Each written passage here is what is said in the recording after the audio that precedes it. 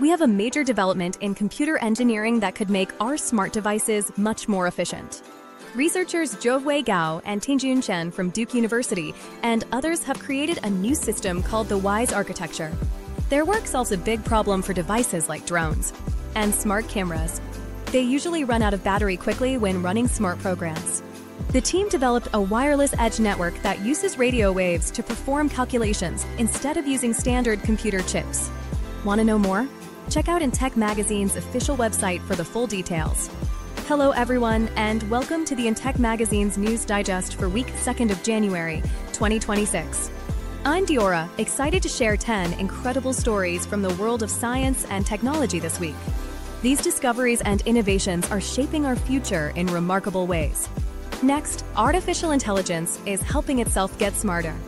Researchers Hema Patel and team have developed a new AI framework that automatically organizes and cleans up messy data for machine learning, published in the ACM Journal of Data and Information Quality. This system is like a super organized assistant that sorts through massive amounts of information. It checks data quality, finds patterns, and suggests improvements. This technology could make machine learning more useful in healthcare education, and engineering.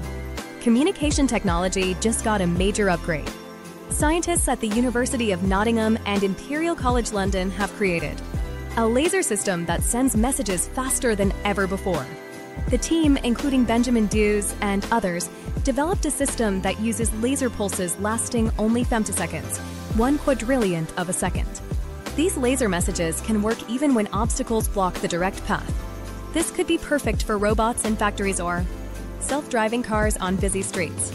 The technology uses special crystals and ultra-thin sensors, making it small enough to fit on chips.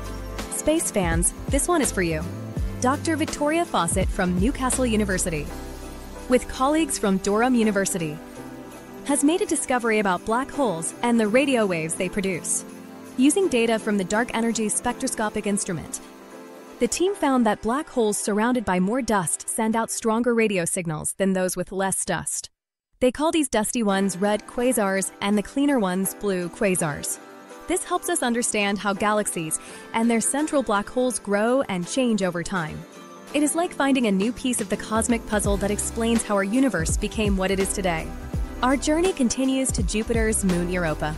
Scientists Paul Byrne from Washington University and Chris German from Woods Hole Oceanographic Institution are leading research that suggests Europa seafloor might be calm and quiet. Unlike Earth's ocean floors with volcanic activity, Europa's seafloor seems to have little geological activity. This means there might not be enough energy for life like we find in Earth's deep oceans. This research is part of a NASA project with 16 labs, preparing for the Europa Clipper mission in 2031 scientists are getting closer to understanding how our brains store memories. Researchers, including Jia Zhang, Andreas Jetnin, and others from Cedars Sinai Medical Center, and the University of Toronto are studying how memories form and last. They found that memories are stored through changes in connections between brain cells, called neurons. When these connections get stronger, it becomes easier for your brain to recall information. This research could lead to new treatments for memory related diseases like Alzheimer's. We look at the red planet. You might think Mars is a quiet, frozen desert, but new research shows it is actually electrically active.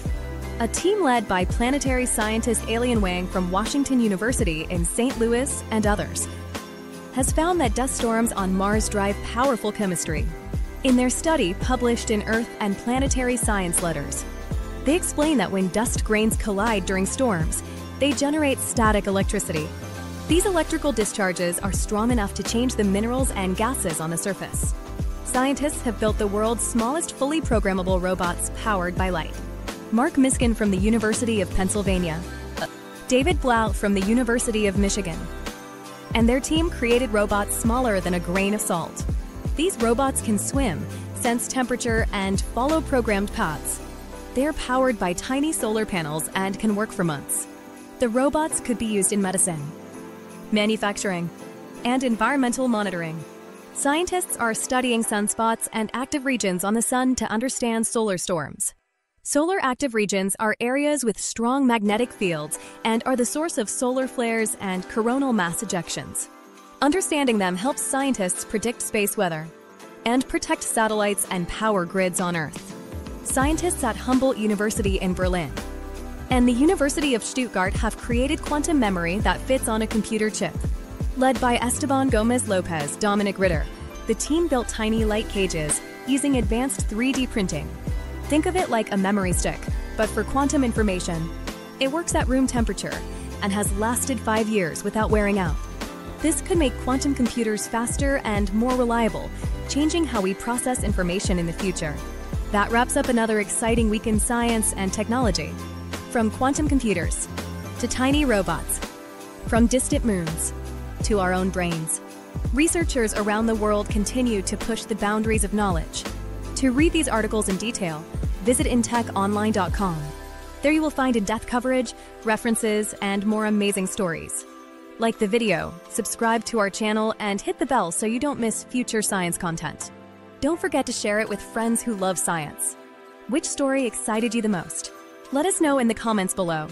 See you next week.